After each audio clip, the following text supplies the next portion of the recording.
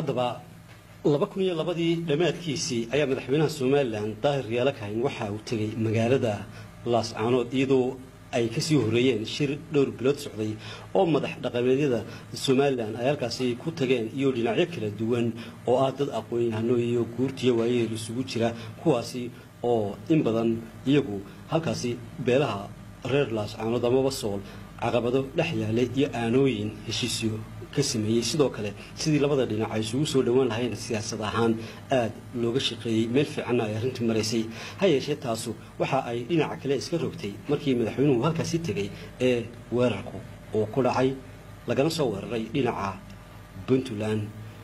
Taasi oo keentay in madaxweynuhu halkaasi uu ka soo baxo ka bacdina somalilan xafiisyadeedii iyo maamulkoodii o dhan halkaasi laga soo raro arrintaasi ayaa waxa ay tahay tahadiyo goor marka dadka iyagu dhaliila xukuumadda somalilan siyaasaddeedu ay aadka ugu dhaliilaan xukuumadda oo ay u sheegaan in ay soo bannaysay gobolkaasi sool iyo weliba sanaag bari intaba.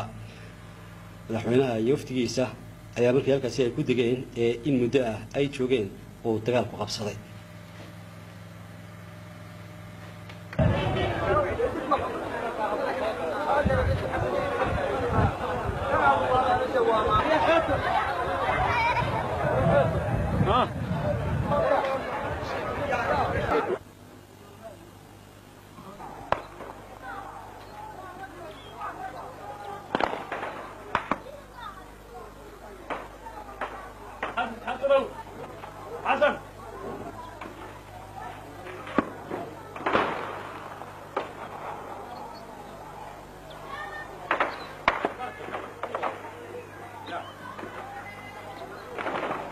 ها